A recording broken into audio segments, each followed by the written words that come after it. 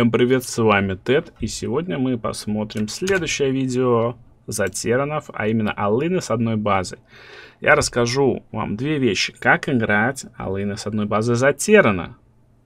И второе, зачем вообще стоит их играть, почему стоит начинать тренироваться именно с такой, ну, именно с такой игры. Как и раньше, мы не разведываем, мы следим только за собой, мы делаем свой build. Сейчас я вам все покажу, собственно, какой build. Вот. Э, и смотрите, поэтому до конца все внимательно. Вот. Э, сразу же, наверное, скажу, что о том, почему это стоит делать, можно узнать вот там вот вверху по видосику в предложке. А, но вкратце просто по одной простой причине вы будете оттачивать полезные навыки в более коротком промежутке времени. То есть вы за час будете играть не три игры, э, делая различные вещи, которые, скорее всего, вам не понадобятся, когда вы научитесь хорошо играть, а будете играть 8 игр, либо 12 игр, смотря, ну, за сколько будете успешно алынить и сколько у вас будет получаться. Вот, в чем суть вообще алынов с одной базы? Просто нужно сейчас взять вот эту из нашей а, прошлой серии инфу, что мы делаем какую-то экономику, из нее делаем производство и начинаем меситься.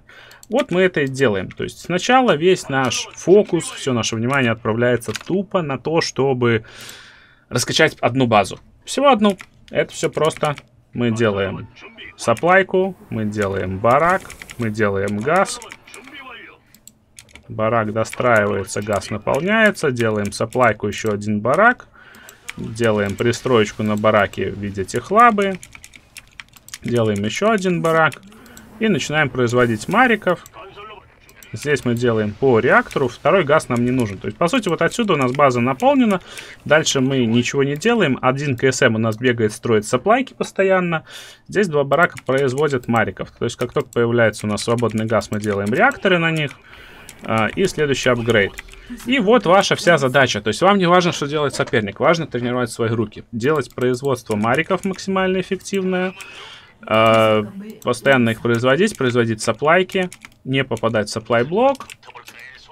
Копиться, копиться, копиться. Можно где-то мародерчика даже заказать, чтобы газ потратить. Это, в принципе, не важно. И если вы подкопились, 4 минуты 30 секунд, выходите в атаку.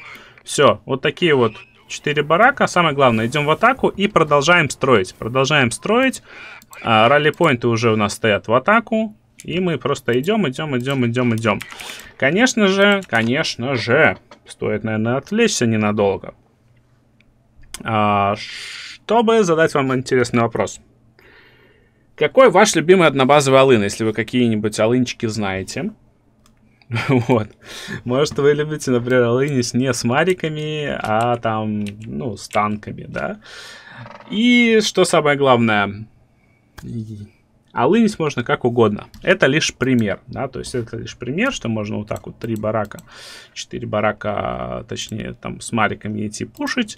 Можно ставить что угодно, любые здания, это не важно. Важно что? Чтобы вы приходили и на пятой минуте заканчивали игру. То есть вы тренируете до пятой минуты. Производство рабов. Какое-никакое, но тренируете. Непрерывное, чтобы как можно быстрее насытить одну базу рабочими. Вы тренируете supply, да, то есть определенный кусок времени. И производство. И когда вы ставите вторую, третью, четвертую базы, вы должны все это делать то же самое, только умноженное на 2. Вот и все. То есть сейчас мне достаточно делать по 7 мариков, с двух баз это будет по 14, отсюда это будет по 21 и так далее. Да? То есть потом, если вы добавите еще других технологий с разных зданий нужно делать, но суть остается та же. Да? То есть как и здесь. Но если вы начинаете расчехлять свое пространство э, жизнедеятельности вот здесь, то Э, у вас возникает проблема, вам тяжелее это защищать, на вас начинают нападать, убивать вам рабочих, экономики сбиваются, вы забываете что-то строить, и это плохо. То есть лучше сразу вот отсюда научиться все правильно, хорошо строить, чтобы приходить, вот вас чуть-чуть больше, вот вы приходите, нажимаете на танк, он умирает, нажимаете оклик, умирает все остальное, убираете вот эти штуки, и ну полнейший расстрел просто-напросто. То есть вот это так вот жестко работает. Еще танк вышел, сейчас на него застимпачимся, убьем. И все, погнали. То есть это основное, основное, основнейшее правило. Не нужно затягивать игры, когда вы начинаете тренироваться. Запускаете, нажимаете старт и все, и смотрите, смотрите, чтобы все ваши ресурсы тратились, чтобы строились стройки, пристройки там и все остальное. То есть, чтоб вообще ничего не это, не простаивало. Тут Марик достраивается, сразу же нового заказали. Тут там что-то еще достраивается, тоже сразу новое. Вот тут, кстати, я техлабу заказал. Этот достраивает supply, сразу новый supply, сразу мародер, сразу мародер отменяем, заказываем Марика, потому что нам нужен, нам нужен газ сейчас на Pack. Вот. Кидаем мула. Видим, что мы не можем потратить ресурсы. Добавляем еще один барак. Учим сразу же Steam. И, собственно, продолжаем. Учим, наверное, следующие конкасы. А тут уже и саплайчик. И вот, вот так вот примерно это все выглядит в режиме реального времени. Вы просто следите, следите, следите. И почему нам не нужна вторая база? Видите, я все, что я делаю, сейчас вижу на одном экране. Как только у вас добавляется вторая база, вам добавляется два экрана. Вам надо двигать мышкой, вам надо двигать экранами. За этим следить тяжелее. Лучше изначально привыкнуть всем следить на одном экране, чтобы это было спокойно, чтобы вам как бы... Ну, чтобы вас это все не напрягало. И тогда у вас будет дальше все намного проще, естественно. Потому что вы уже привыкнете на одном экране все то же самое жать, а там вам нужно будет жать всего лишь пару лишних кнопок, чтобы достичь того же результата. И все. И главное стабильность, стабильность, стабильность. Э, то есть стабильно вот так вот научились делать, получается, э, выход в 4.30. То есть вот у нас уже есть там почти 4.30. Пошли выходить. И вот так вот постоянно, чтобы вы делали, потренировались.